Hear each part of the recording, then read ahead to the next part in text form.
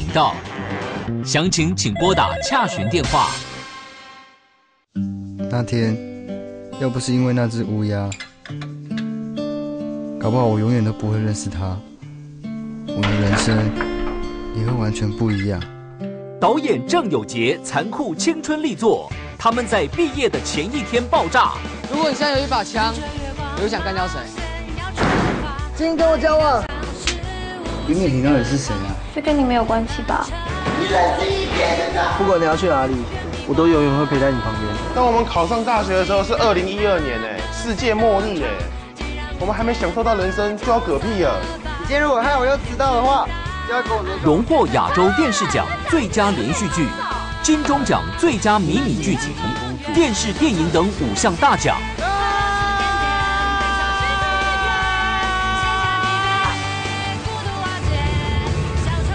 每周六晚间九点，公视十三频道再次引爆。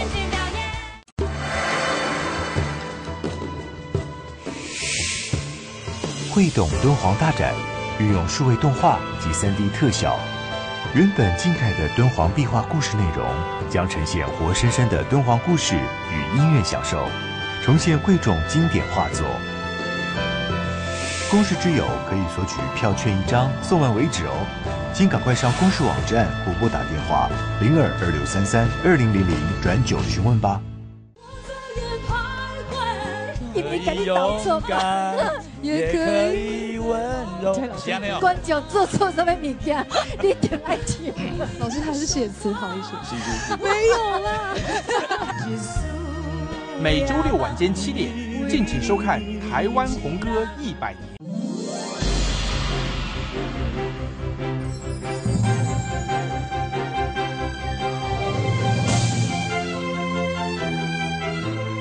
正在收看公共电视。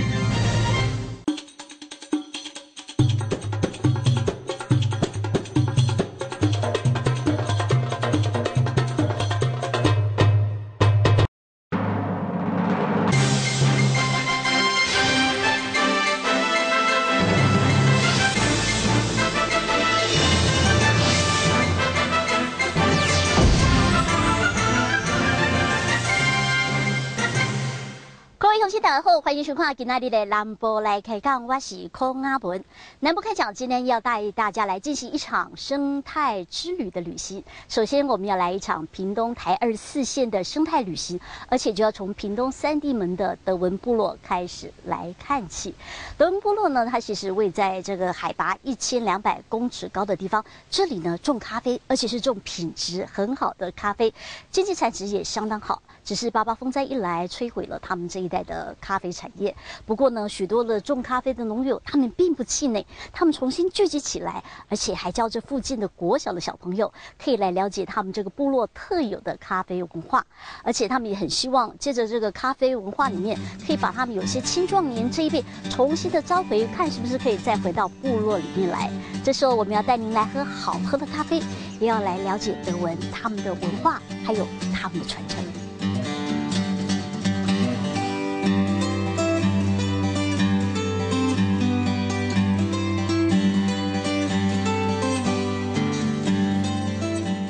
非常欢迎到德文来，呃，德文这个地方哈，在呃日据时代是非常大的一个部落了。不过在日据来之前，这个地方是不毛之地，所以德文这个名称呢是辗转翻译再翻译过来，才变成现今的德文村。实际上，在我们的部落的呃意思或者是我们的主语来讲，德文是从 d u g u 开始讲。啊，独孤就是那一块不毛之地的意思哦。因为我们的祖先在到德文来之前呢，这一块区域呢是属于猎场。那猎场是长满了尖芒草。我们过去打猎啊，呃，老人家有一点聪明，就是放火烧山就好了，第二天再去捡猎物。哦，而熟的就先先吃，没有熟的再带回家。所以这个地方过去是没有半棵树的哈。那到这里来的时候呢？一进来这边最显著的地方就是这两颗雀榕，这是两颗，不是一颗。那颗大的，这个小的，哦。那这个雀榕呢，会生长在这里，跟我们所看到的那个图腾是有息息相关的，因为那个图腾的故事，才把雀笼种在这里。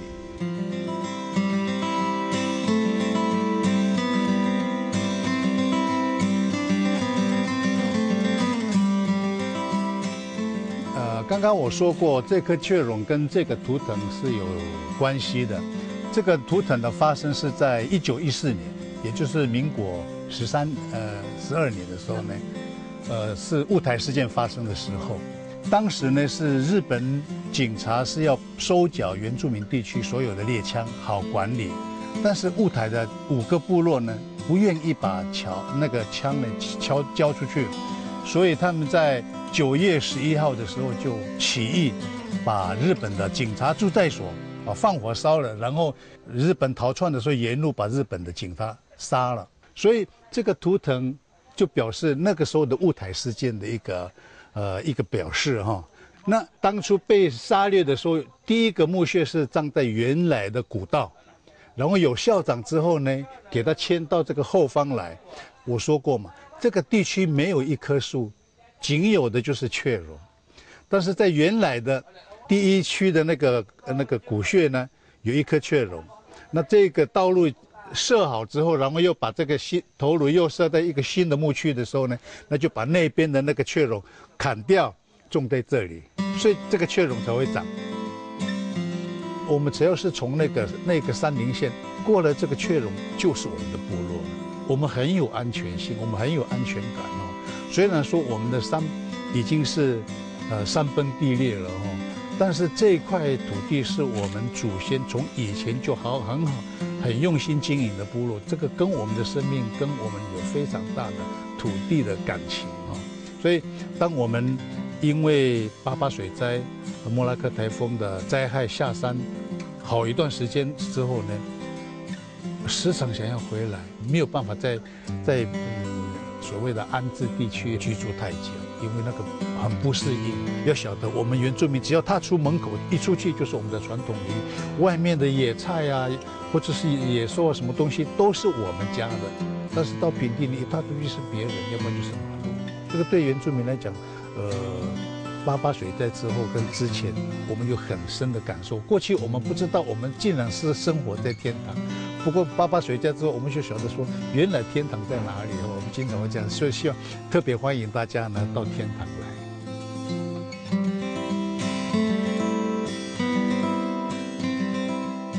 大家好，我们今天要讲讲的就是这边我们四个下，一个是排湾，一个是卢凯族嘛。当初这个村庄哦，它是原本是在那个上方的，不是一个呃水塔。原本有一个也是我爸爸的家族在那边盖一个房子，可是，在那边哦，他做一个房子之后，当他们造人的时候就往生，只要造人就往生，他们就跑到雾台，因为我们是卢凯族嘛，他们就跑到雾台之后。我的妈妈的祖先又跑到这边来立这个房子。当他们立这个房子以后，他们就造人的时候就活过来了。祖先就认为说啊，这不错，这个地好，又有水，就开始生根在这里。之后就陆陆续续很多从雾台的那些居民跑到这边来做一个村庄。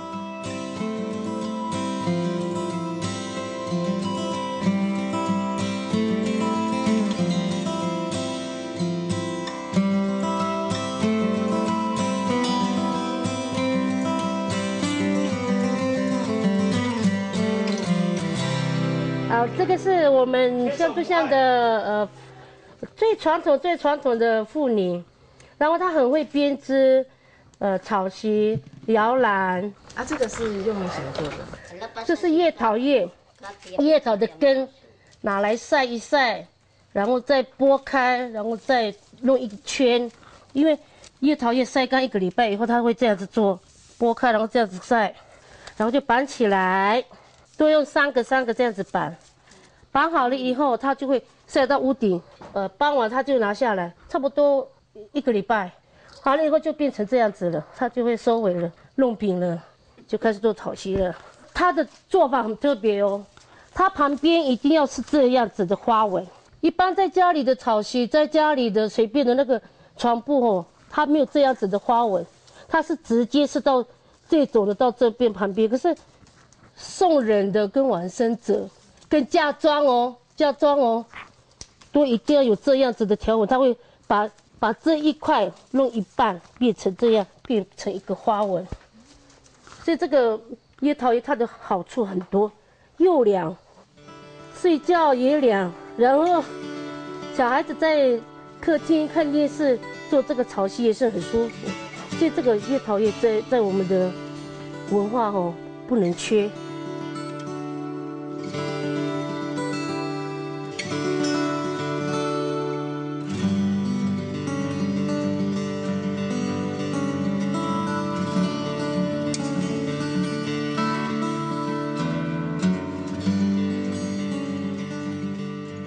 好，来，那我们进去我们的石板屋民宿，它之前是很旧的石板屋，之后它就说来做一个原始的石板屋，现代现代的石板屋就变成，他就这样子做，拆掉就是这个样子，就开始叠，叠叠叠叠到变成这样，他就是他的过程就是这样子做，然后那个这个叶头就是他妈妈，睡觉就是这样子睡。嗯，铺这样子，他早上起来就折起来，要睡觉的时候再铺。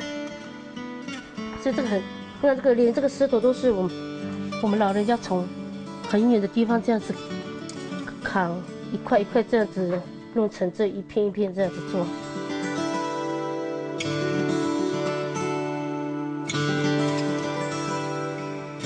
来，然后你看。他们这个就是他女儿的房间，这个石板屋还蛮凉快，很凉，真的凉。你夏天也是要盖棉被睡觉，因为它底下是石头，所以铺这个草席也要铺一个厚的棉被，然后再盖一个凉的棉被，这样才不会感冒。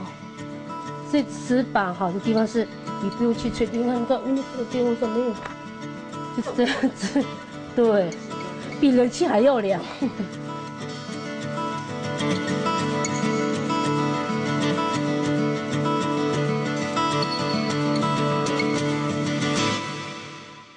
那这个在早期我们原住民为什么会设这个秋千？就是因为在早期这个只有头目当家的女孩子才可以设这个秋千，除非是说哦刚好是像这种呃有景点的，或者是观赏给人家看的才可以设，要不然都是当家的女孩子哦，她要结婚的时候才可以设。当你要搭这个搭这个秋千的时候哦，一定要。呃，杀一只猪，比如说搭起来四个，哦，他就所有的年轻人就找一个最厉害的，可以爬到上面去。当你下绑好了下来，这个杀的猪吼，你就会有一有一个礼物，就是你的就对了。比如说，呃，他有应该有一个部位，哦，他就割一个，就是专门这个英雄爬上去绑这个的，哦，他会给你那个东西。所以我们这个秋千对我们原住民是呃有很重要的，所以。你不会说随便在哪个地方你就看到有设这个秋千，一定是说当家的女孩子要出嫁的时候就会买。女孩子搭秋千一定有一个男朋友要抱起来，要下来是要抱起来。新娘抱。台湾族跟刘怪族就是最特殊的地方，就是这个搞一头，这个一头变成搞干了就是这个，你看好漂亮，这个一年不会坏掉。这个到我们在山上打猎的时候带这个干粮啊，河水吃这个河水就可以吃饱了。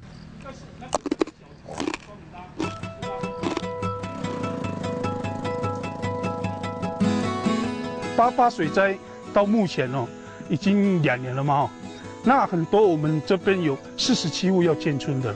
四十七户下去了，就变成我们这边就减少，而且我们这里的年轻人外游的也是很多了。那我们在往后的想法就是说，哦，能不能从这个生态旅游发展，以后的年轻人可能就会回流。那我们现在我们培力人也就是在往这个两方面去做。比如说我们有时间的时候，我们就做做在这个农地这边哦，就跟做这里啊。如果还有别的时间，我们就去监测。或者是去学习怎么接待客人或者是解说。呀咿哟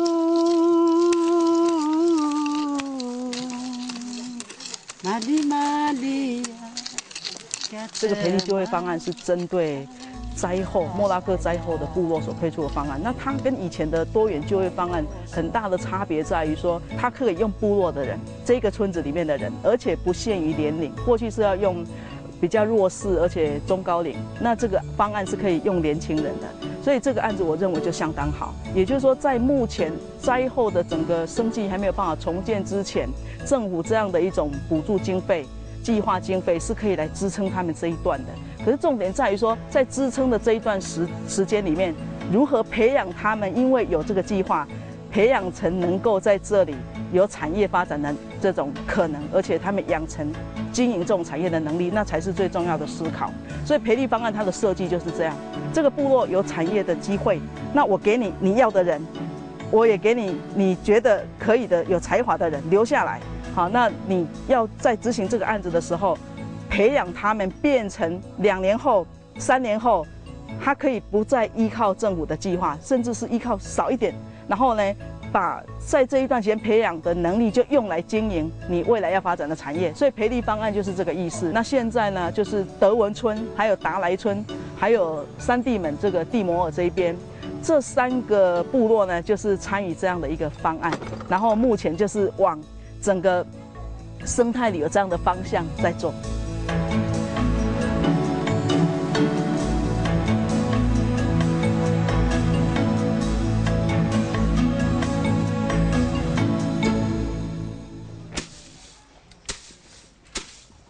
非常激动，现在正在做那个咖啡去壳的动作。你知道小朋友这样子用敲了以后，有一些碎碎的片。碎片我们就会用吹的，然后拨一拨，再让小朋友继续去敲。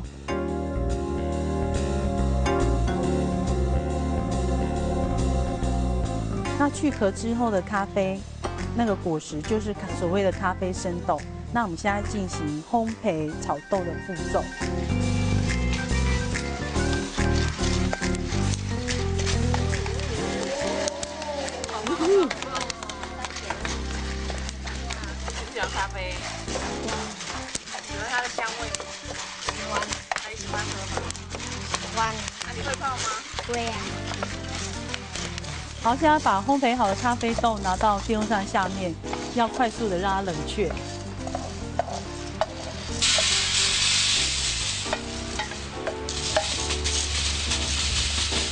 我们是在风灾之后，因为很多小朋友的家长都为了工作，就几几乎是居住在外地，那就剩下老人家这样在村庄，那他们就会看老人家这样每天去去做这些咖啡加工的工作。那我们那时候设计这个课程，就是希望让小朋友去去体会一下家里的，就是家里这些经济工作。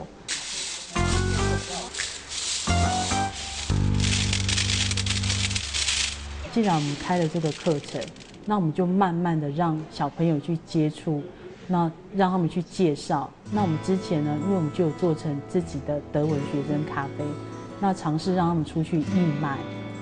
那也希望说，透过这样的活动，就是让家长能够看到小孩子，嗯，他们对他们自己的家乡可以这样子处理。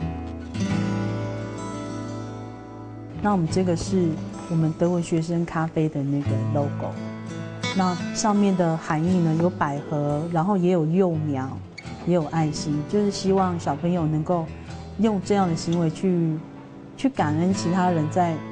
莫拉克这这段时间他们的那个付出，今年呢，我们就尝试让小朋友自己去设计。那这个是二年级的小朋友去画，他画的咖啡树。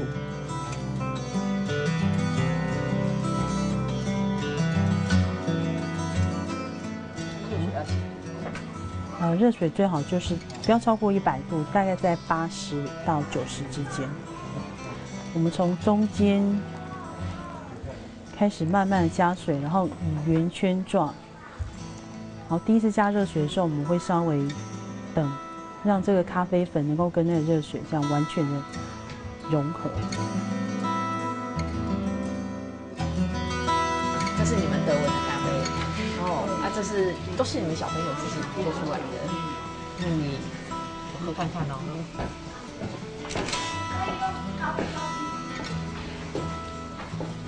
嗯，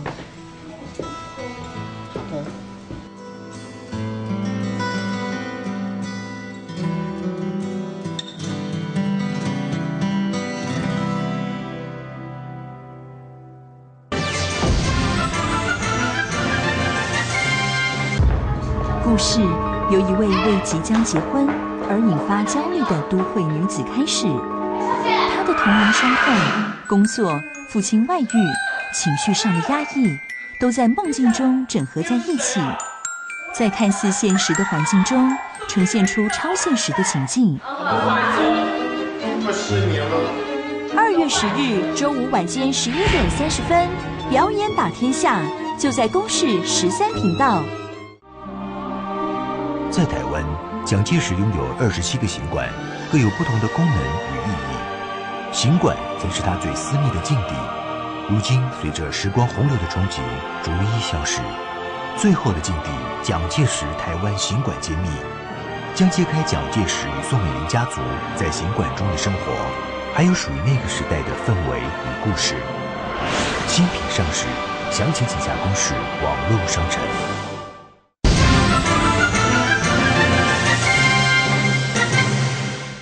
继续回到南部开讲的现场。这一段呢，我们要带大家来看的是达莱部落。达莱部落就称达瓦达旺，他们呢曾经经历过五次的迁村，所以旧的达莱部落早就被大家所忘记了。不过呢，经过八八风灾之后，大家才发现，原来这个旧的部落还保持的相当完整，也因此才佩服说原住民祖先他们当初选这个地点真的是有他们的聪明跟智慧。因此现在呢，我们要来看看在这里呢还保留相当完整的石板屋，我们要带您来看看这个已经被人家遗忘的台湾族的部落。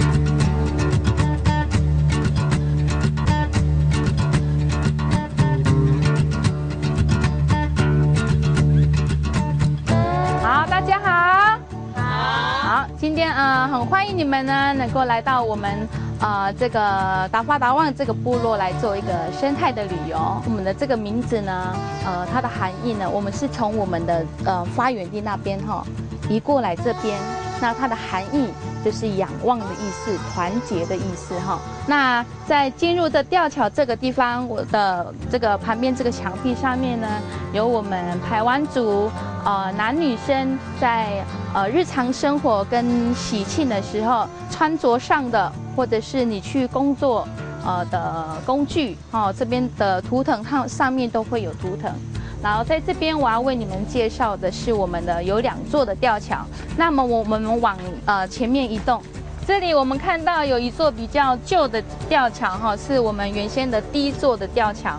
经过了这么多年哈，当当然会一直损坏，当然呃一直翻修翻修了三四次，比较危险。那我们就另外又改建了一个比较新的，会有会比较安全。在我们民国七十六年的时候，我们就做了这个吊桥。那个在这个吊桥上面呢，就有我们台湾族的图腾，很明显哈，就有我们有男生、女生哈，穿着呃这个我们原住民的服饰哈，还有这个 on，也是也是我们呃很重要的哈，很重要的，还有我们原住民啊这个图腾，这个百步蛇。哈，我们最尊重呃尊敬的哈百步蛇也是最重要的哈。那现在呢，我们现在要走这一条我们的吊桥。那目前我们的吊桥这个吊桥呢是长有一百二十公尺哈。那我们现在呢呃慢慢的走啊，我们走的时候我们可以呃左右看一下我们的风景。如果你会怕哦，不要看往下面哈，你往上面都没有关系哈。好，来跟着我的脚步往前面移动哈。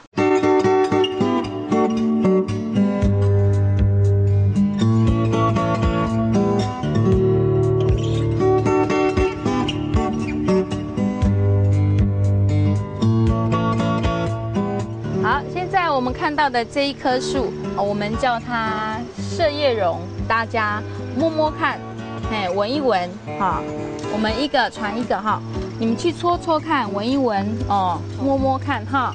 这是虫吗？虫音，就树叶的味道。你们触摸它的感觉是什么？粗糙，对不对？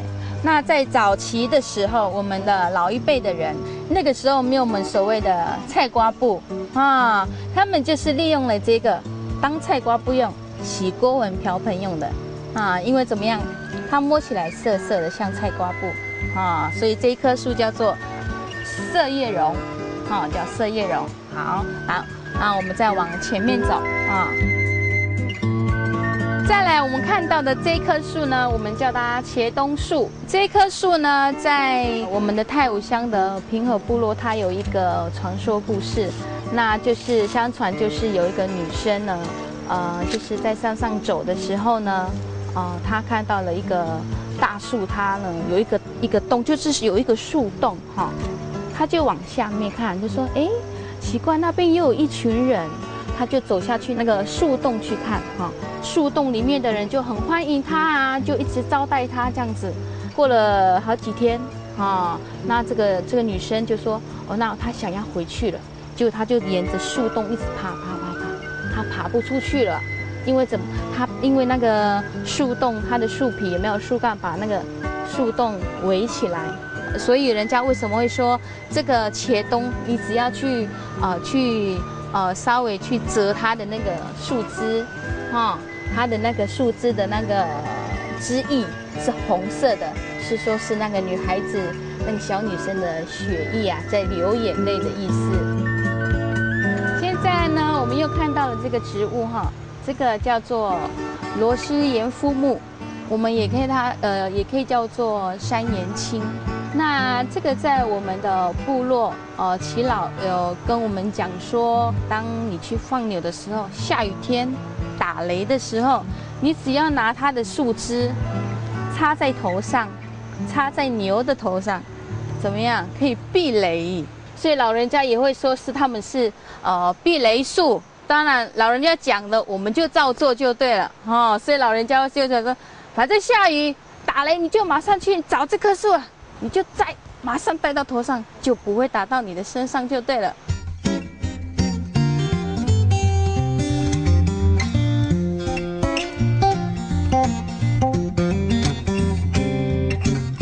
几乎我们原住民，哦，智慧真的是可以说是一级棒。我怎么说？我们都是就地取材，哦，尤其是这个月桃叶，它的功能很多，哈。像我们平地的朋友，我们是用用这个包巴掌，对不对？我们也是用这个来包阿歪。那它还可以做什么？可以做我们的草席，哈，还有做我们的包包，哈，还可以做我们婴儿的摇篮。因为怎么说？而且它的防止的能力又呃很快，你走到哪里都可以看得到它。嘿，这个就是我们的月桃。那在哪里？在这里，来哟，跟我来哟，跟上脚步来哟。这个非常有意义，这个植物哈，我们叫它线果藤。什么意义呢？我们现在我的部落有一个老人家哈，八十几岁了，从来不看牙齿，没有看过牙齿，牙齿没有掉过。可是的，他的牙齿是黑色的，为什么？他以前的老人家都是用这个，有没有？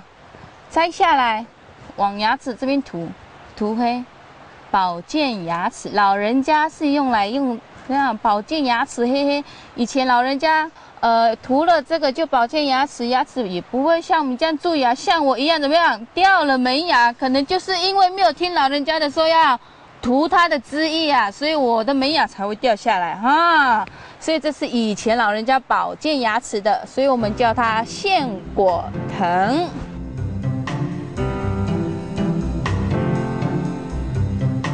在呃之前那个时候，我们啊还没有台二十四线的时候，也没有柏油路，没有什么，还是石头路的时候，没有像这样子这么好走。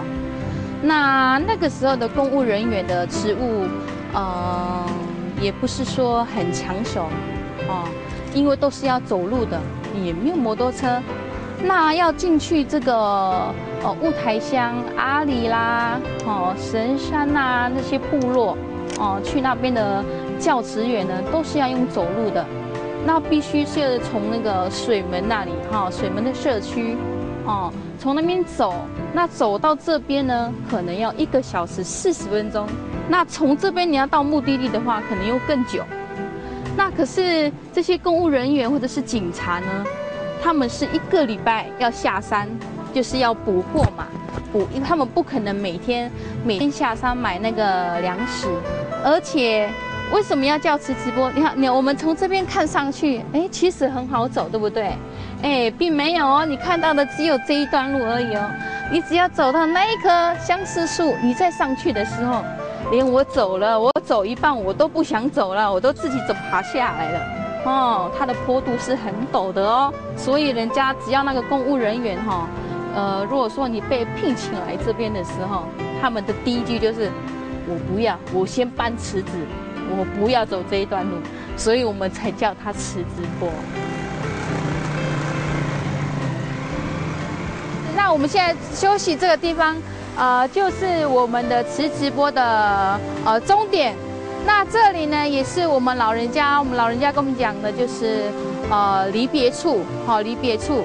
什么离别处呢？就是啊夫妻或者是你的情人，啊送情人的地方。可能你的情人，呃要去当兵啊，或者是啊你那个亲爱的老公。要去别的地方去做临班呐，工作可能要一年两年才会回来。哈，我们就在这边，从他他从这边走嘛，对不对？送我们要用我们的双眼送到吊桥那里，就说：哦，亲爱的，你记得你要想念我，要早点回来。不要在外面怎么样怎么样，记得老婆在家里等你这样子哈，所以我们这边也叫做送别处哈，知道哈？记得我等你回来娶我这样子哈，不要忘记我这样，真的蛮可爱的。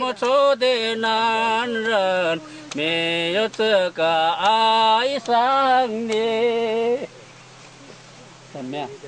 灭灭的理想没有我的存在，哎呀，把我丢在吊桥，哎呀，好好好。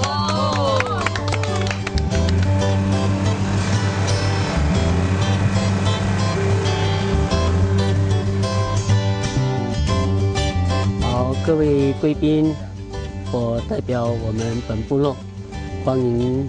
来到这个鸟不生蛋的地方，好，那这个地方就是以前，呃，是我们行政区，我的右我们的右手方，我的右手方就是我们派出所，这个是派的派出所跟呃警员的宿舍，啊，我的左左手边这个是我们的学校，是三地国小达来分班，那下面这一块，这个是 我们的中办公处，还有我们的卫生室。那么，经过我们呃社区发展申请先是公先的利用，那是这个地方以后变成是我们游客中心，哦，那这个下面就是我们的厨房。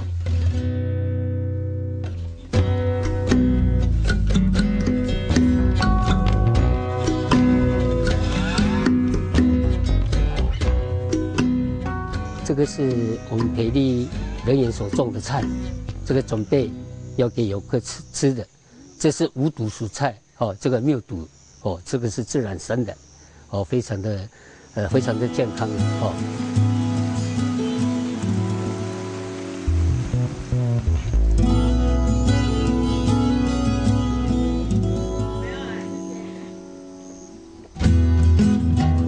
在这个地方，我做简单简单的这个介绍。第一个介绍就是这个，呃，我们以前的这个圣命教育的地方，也是我们信仰之托，呃，是我们呃达赖基督长老教会唯一的这个教派。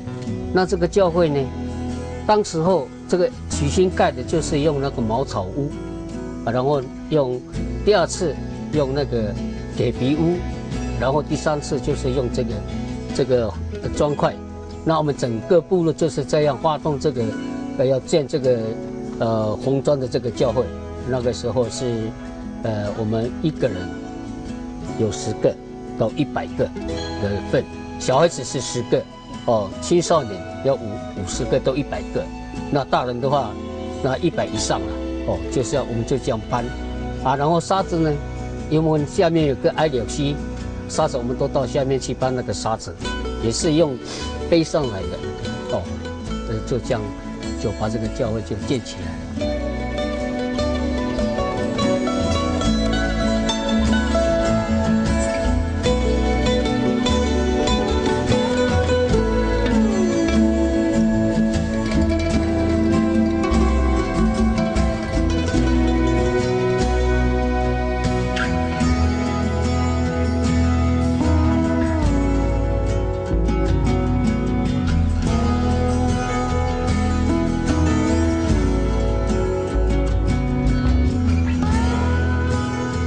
第二个介绍，就是我们所站的这个步道哈，这个是它的历史是，呃，超过八十年到一百年哦。这个是我们，呃，祖先的这个智慧，这个是，呃，水保的那个水保水保持取这个那个它的功法比比那个还要厉害，因为它这个怎么重刷哈，都不会土石流。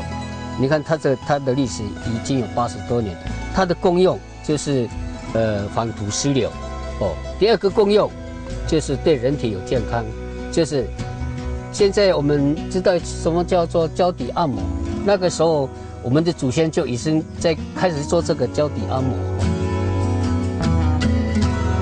这是家庭家庭教育的地方，哦。晚上的时候，当呃夜色很漂亮的时候，呃，月亮挂在天空的时候。我们的老人家会带些小孩子到这个外面，开始就教育、说故事啦，哦，呃，教民谣啦，哦，呃，人要怎么做啦，都在这个平台要做这样的教育。那第二个功用就是，我们在每次收获的时候，比如说收小米的时候，我们就把小米晒这个地方，这个就是一个晒谷场哈。啊，那第三个介绍。呃，我们会觉得奇怪呢，这个这个时节，为什么这个步道都有这个时节呢？它有一个，它也是有它的呃功法。第一个功法就是台风天的时候，当台风到十二级、十三级的时候，你可以在这个地方暂时躲风哦，啊，不要给那个树枝啊、某些杂草了打到的时候，可以在这个地方稍微躲一下哈，蹲着。在这边抖一下那个台风的那个威力哦，啊，第二个，以前我们上我们原住民很很很好战嘛哈，当常常有那个从外地的呃敌人来到部落攻击嘛，那这个也是做那个防御战的地方哦，在这边哦，比如说敌人从那边攻击，我们可以在这个地方做防御哦，在这边哦，就就这这样防御枪这样子啊。哦，就在这边等待那个敌人来来攻击。哦，这个是它的功用。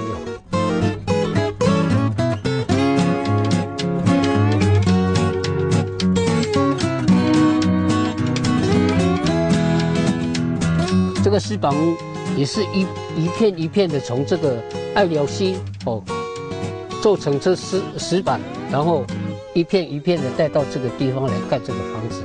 它夏天。很凉，空间很暖。我们那个文化就是，以前我们祖先死掉的时候都要埋在这个里面，啊，意思就是说你死了也是永远的一家人。所以以前我们埋葬也是都在思念埋葬。那我们呃跟别的部落不一样的地方哦，就是这个石节部分哦，那个石头不一样，人家的那个石头是很好叠呀。可是我们这个石石头哦，因为是我们没有平板呐，都是哦奇奇怪怪的石的那个石头，反正这是我们这边的特色。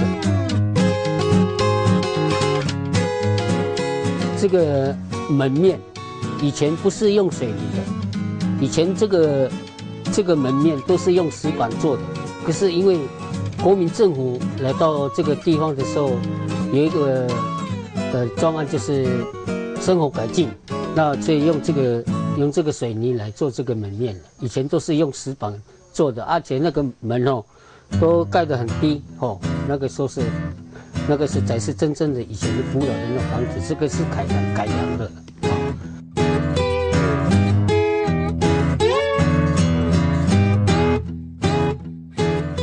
我们这个地方就是我们所谓的呃中庭，以前没有那么小间，可是因为呃已经改良了。那以前这边一个中间一个神柱，啊那个这个地方就是一个大厅哦。这个这个第一间房子，这这个第一间房间是老人住的，哦这个是老人住的房间，它这个也是改良式。那我们的厨房在那个地方，这个都是都是小姐的房间啊，这里面就是小姐的房间。哦这个都是年轻人的房间，可是那个床铺已经拿掉。那为什么为什么那个小姐一定要放在里面？是为了保护那个呃小姐，所以那个呃这里面是房呃那个女孩子的房间，然后就是比如说家里有男孩子就在这睡在这个地方，好。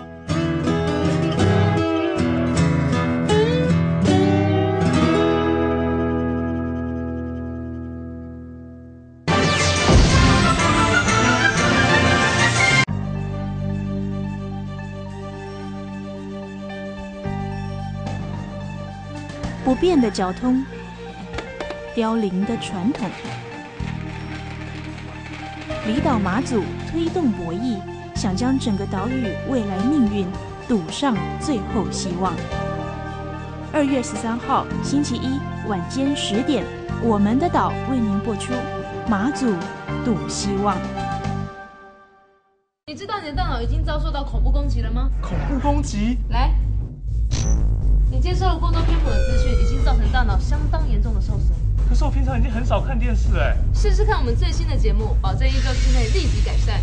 有话好说，不掺任何化学添加物，不让任何势力干涉你的思考。看过有话好说了吗？有。看看成效如何？真的有效哎！关心台湾大事不再是个沉重的负担喽。有话好说，政论节目第一品牌，我会推荐观众看有话好说。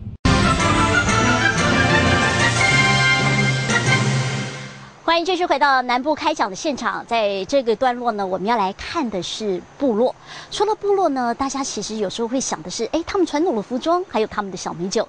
其实呢，部落的文化很多种，包括猎人他们打猎，除了用枪之外，其实还有弓箭。那还有呢，族人们头上所戴的花环，除了表示有装饰之外，其实还有身份地位的代表。这些其实还有什么样的意义？我们要带您一起来看看。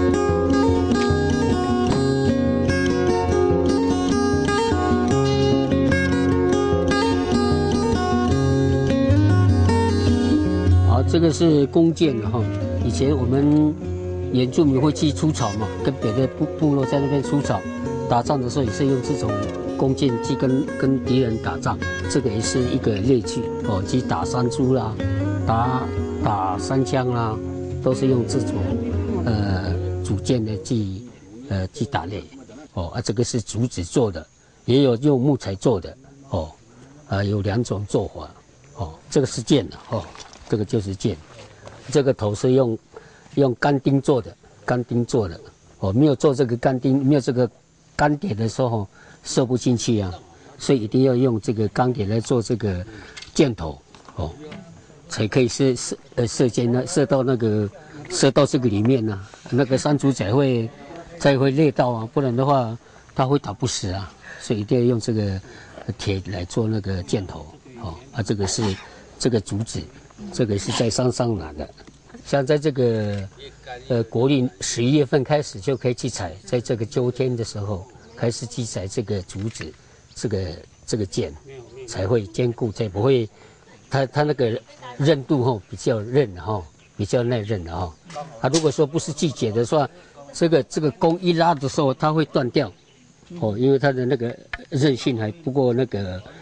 就是弹性还不够了，所以这这个也是有它的季节。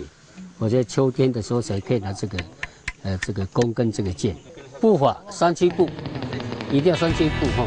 右手拉箭，啊，左手顶顶这个弓，哦，就这样，这样射，哦，哦，哇，打不到，打不到，哦，没有射到。太久没有练。我们要射箭的时候，它这个，它这个地方要绑两节，对不对？这个是休息，哦，然后这个这个弓这个弓后休息，不要有那个哦压力啊，要要射的时候，这个这个膝盖哈压这个地方，这样把这个身子调到这个下面往下压，哦，然后调调到这个第二弦，哦，这样就可以可以射了。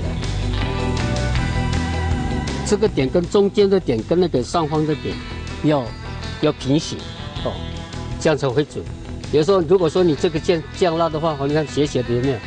哦，这个就收不到。所以你这个这个中心点一定要点好。那这个这个地方跟那个那个地方这个要一直线才会准。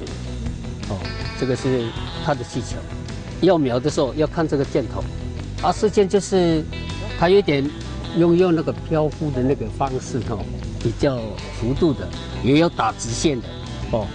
比如说说，哦，近距离哦，近距离的话就是打直线，哦，远的也用漂浮的箭。哦，有幅度的比较难吗？对，那个比较难。哦，所以它的这个用箭也是有它的技巧。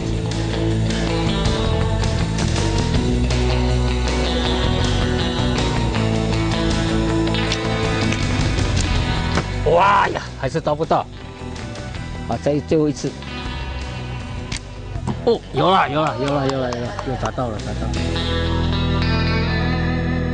以前我们是用用这个这个笛子，用口琴，和用呃用歌去表达我们对我们女朋友的爱意。我们那个原住民那个谈恋爱是很保守呢，不能碰。你碰了，你还要买去买槟榔，还还要去道歉呢。我们每一个年轻人呢，几乎都要这，呃，用这个笛子，用这个口琴，然后去慢慢走到你所爱的那个小姐的家的，快快到那个小姐的家去，就开始吹了。好，那我就开始吹了。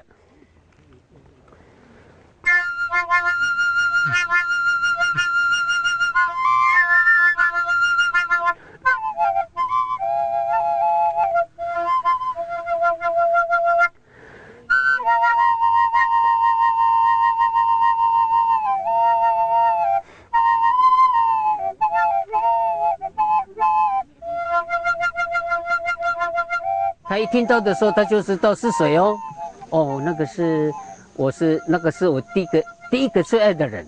哦，他听到如果说不是他，因为我们以前有一二三四五的女朋友啊。哦，一个女孩子就有五六个男朋友了。那个时候我们研呃研究就是这样的。哦。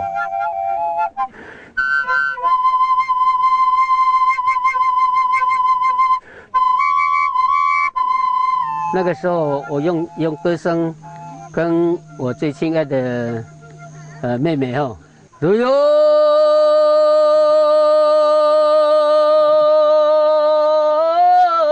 你的路啊那呀那呀呀那呀哦，西罗。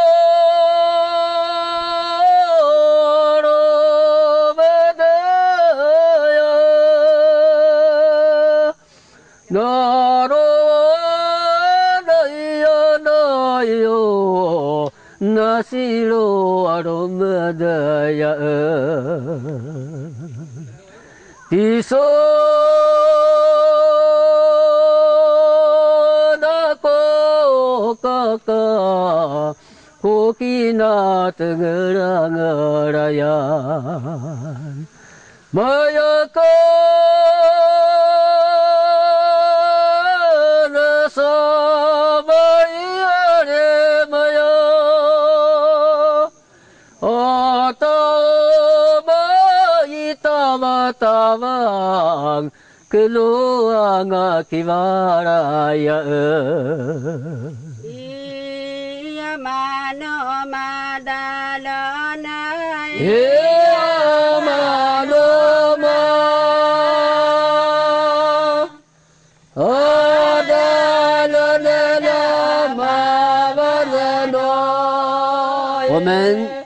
所思念的日夜所思念的事情，终于今天呈现在我们的眼前。那今天我们所聚集的地方，那你们以后走了之后，会变成非常思念的地方。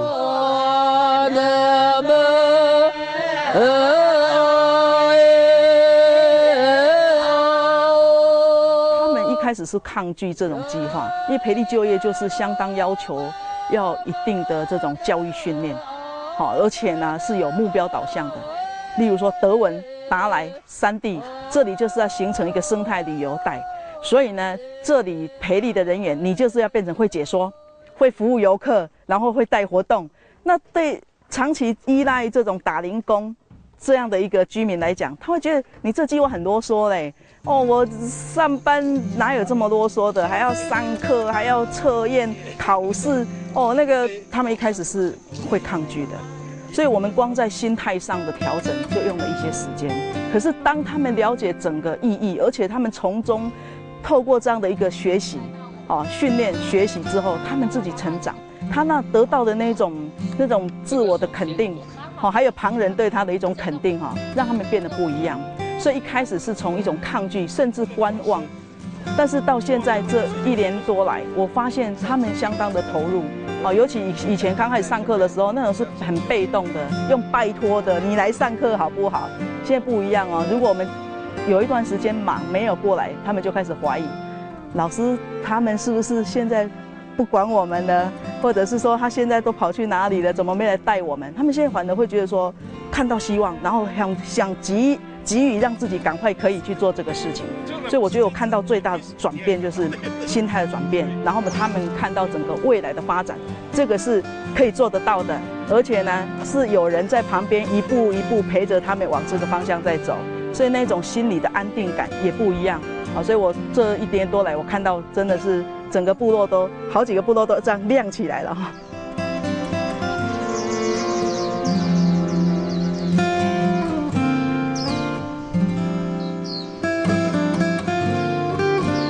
那以前我们老人家根本就不知道什么，呃，这个都知道这个植物的原住民的话怎么讲，可是他们并不了解。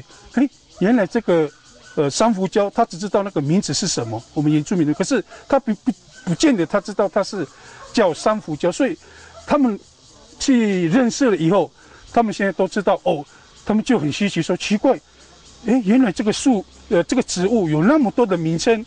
甚至有一次，刚好在这个地方有几个老人家，也是六十几岁的人，刚好他们也是在，呃，在这里打工哦。刚我们两个上去的时候，因为每天都有人在轮流上去，结果他就问我们说：“奇怪，你们两个人或者是你们其他人，怎么每次都在上去在干嘛？”哦，当时那个我们的那个七老跟我在一起的老人家是他的同学，就跟他讲说：“我们上去是在监测。”我们说：“监测是什么？”说啊，原住民的名字叫苏鲁比，原住民那是尤鲁比啊，不知道是珊瑚礁吗？啊，味道啊，有味道。那以后，因为我们要做这个生态旅游，我们必须要了解，哎，这个相思树，你们知道这个多恩？哎，你们知道多恩，可是我知道它的国语名字叫什么？你到底知不知道？就问他。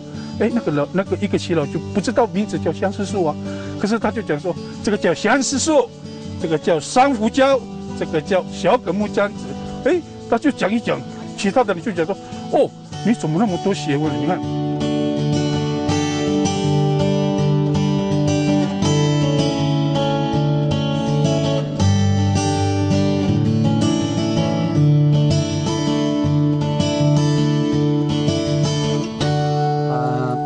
花环的意义，比如像要结婚的时候，有庆典的时候，我们都会编这个花环。那来宾来的话，像你们今天的话，你们呃应该我们表示我们的重金哦，要给你们戴这个花环啊，这样啊。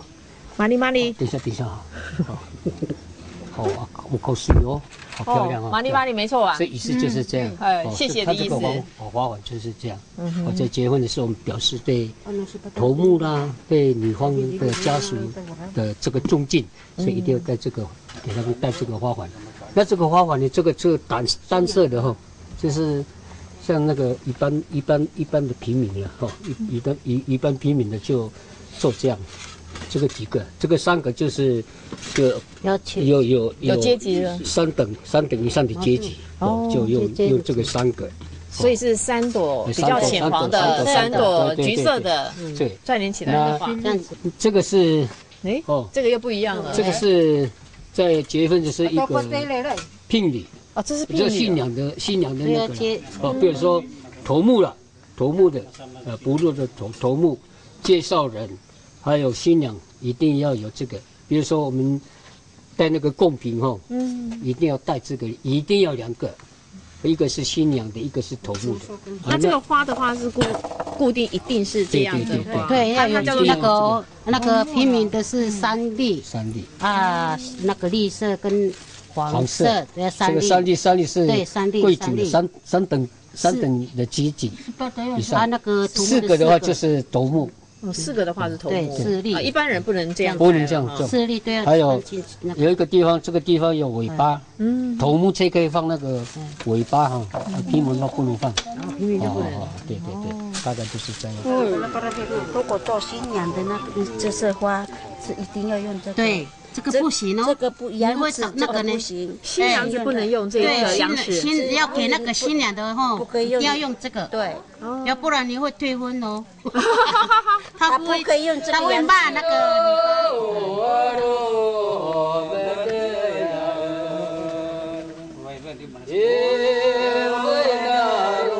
很快就做完。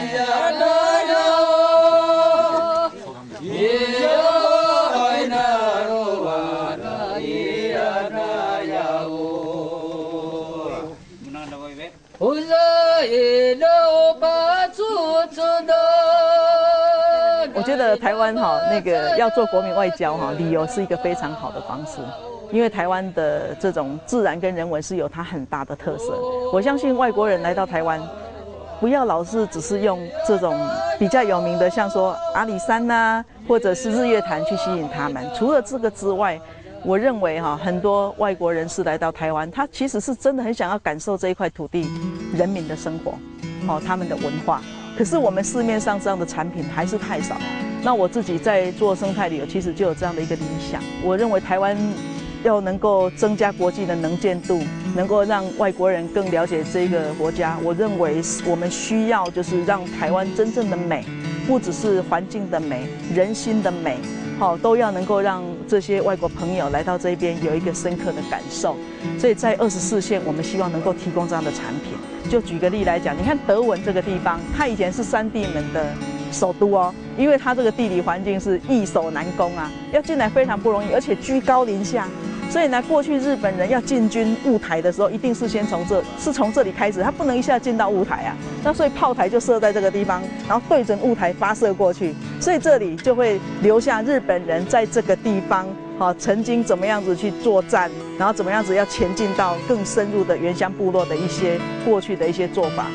啊，还有呢，日本人在这边种了咖啡树，啊，我相信日本客人如果来看到说啊，他们过去的这个这个前辈哦，在这边种的咖啡树还在这里，还被保留的好好的，那个是会很感动的。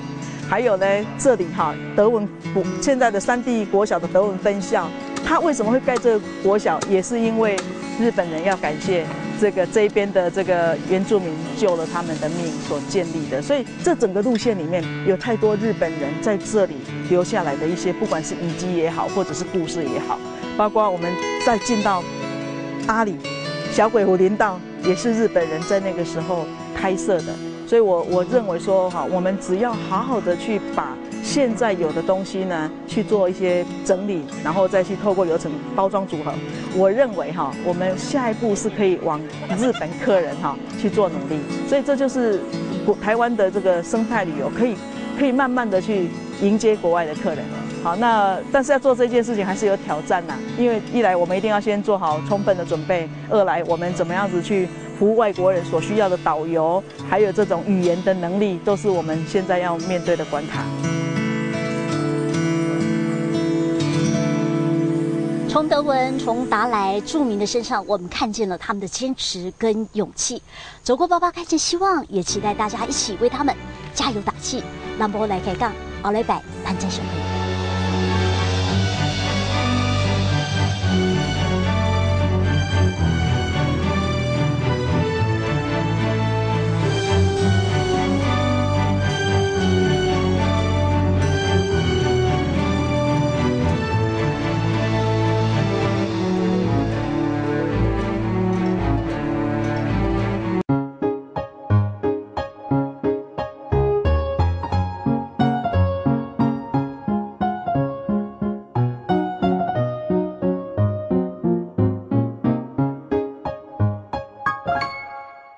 在街上，我看到一个很像我的人，不知道我怎么认出来他像我。我见过我吗？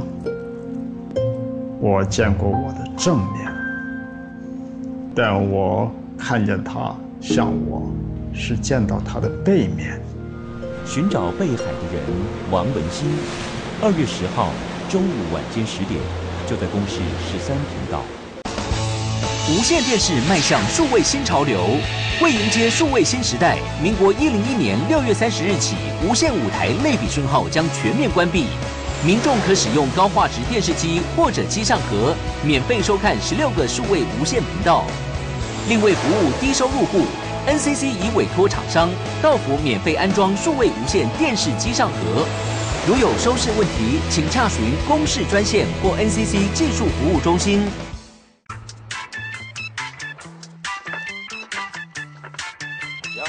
色列缺水、缺能源，一半的国土是沙漠。为了生存，鼓励人民屋顶上种电。荷兰与海争地跟灾难共生，开发围藻绿经济。And then the algae doesn't feel so happy anymore, so it wants to go to produce those chemicals to protect itself. 二月一日起，周三晚间十点，公视十三频道独立特派员《地球火起来》寻找新能源。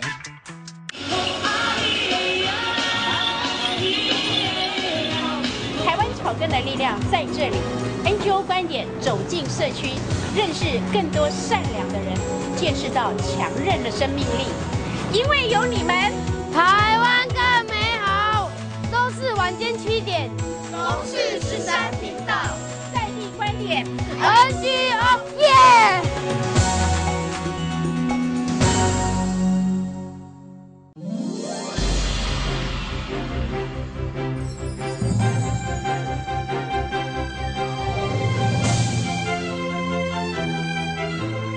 正在收看公共电视。